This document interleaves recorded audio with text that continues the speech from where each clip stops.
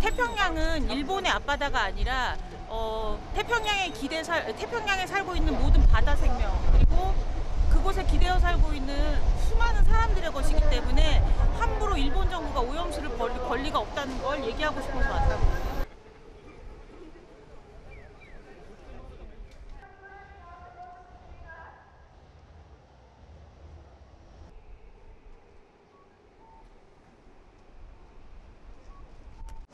ドイツでしたっけ？やめてますよね原発。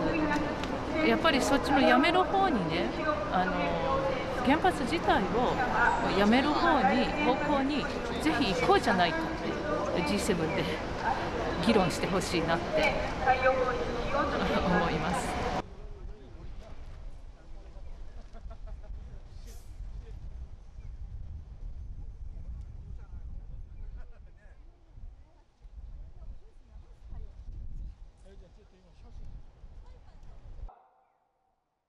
原子力緊急事態宣言が発令されて